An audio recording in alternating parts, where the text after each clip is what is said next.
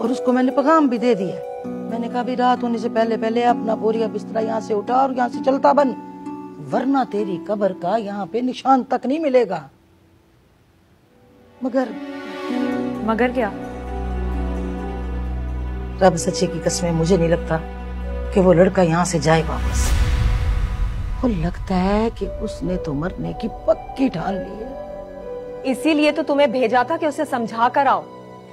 उसके भले के लिए हम उसे यहाँ से जाने का कह रहे हैं। उसे हवेली के माहौल को देखकर भी डर नहीं लगा। लगता है नाजिम लाला के गुस्से को जानता नहीं है। जब हाथ पाँव बांधकर काल कोठरी में बंद कर देंगे ना तब पता चलेगा उसे। माई बीबी मुझे तो लगता है कि शायद वो अपने हाथ पैर ना बंधवा के ही आया है। उसे कोई मौत शौत से डर नहीं लगता।